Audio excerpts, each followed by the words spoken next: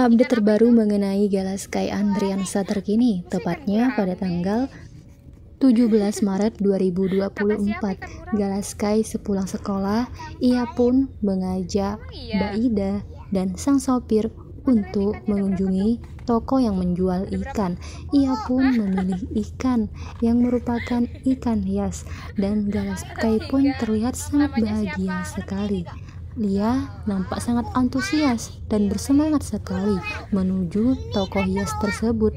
Dan Mbak Ida pun selalu mengajak Galaskai mengobrol, bercanda, dan bersenda gurau. Hal ini pun membuat Galaskai terlihat sangat pintar sekali. Apalagi ia pun menjawab pertanyaan-pertanyaan yang diajukan Mbak Ida dengan baik dan benar.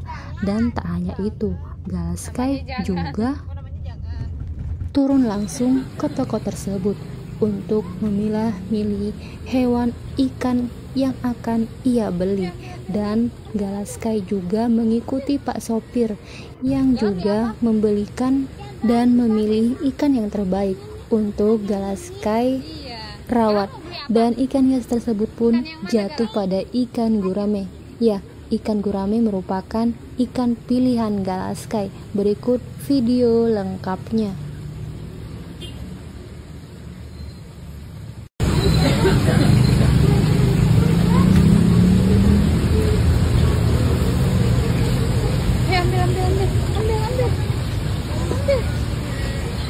Ikan apa itu? Ikan gurame. Masa ikan gurame? Kata siapa ikan gurame? Kata Mas Arif. Oh emang iya? Iya. Mana lihat ikannya ada berapa tuh? Ada berapa? Sepuluh. Ada tiga. namanya, nama, Namanya siapa? oh namanya ini gak? Gala, Bukan. Iri, Gele, Gulung. Ini ikan doang. Ikan doang. kan harus diberi nama.